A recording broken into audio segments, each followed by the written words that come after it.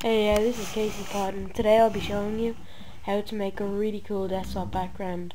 If you're tired of having your stuff all over your background, uh, here's a good way of keeping it organized and looking very professional. So first, all you're going to need to do is download the template that I have in the description, which is like this, okay? Because when, if you do this right, you'll get it to look something like this.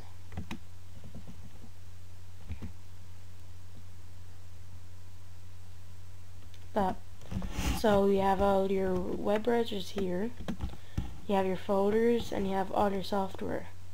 Then you ha I have a place for my current background because I always update it, so I have a little section for that, and I have a temporary section, so I have can put six different things in there. And then what you're going to do is you're going to install Google uh, Desktop Sidebar. So you just click Install Google Desktop and then you go back onto your desktop and when you have it you'll see like here and then minimize it you see that you have this. So on the template uh, which is slightly different I have here which is in a fireworks ping file so you can just go on to unedit it. Now as you can see here I have a little tip. Here and it says drag gadgets for Windows toolbar into places i.e. x and y. Example, x is a clock, y is a calendar.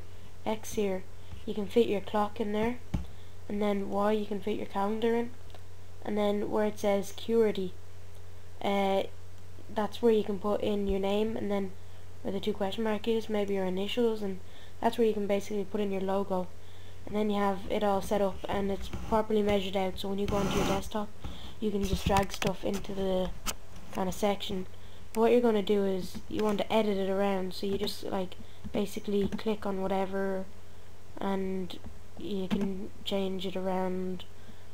To like hardline and red or something you know. Whatever like that you know. So that's all you'll need to do. Just mess around with it till you get it the way you like it. I like this so that's what I like so what you're going to have to do is, when you have the Google toolbar, come up along the side. What you're going to do is you're going to grab the gadgets and drag them into place, which is very easy. So just click on it and pull it over. So hope you enjoy and yeah, check out my partner Felix101 Robin. Uh, he'll uh, have all the best tutorials and stuff as well. So subscribe, comment, rate. Thanks.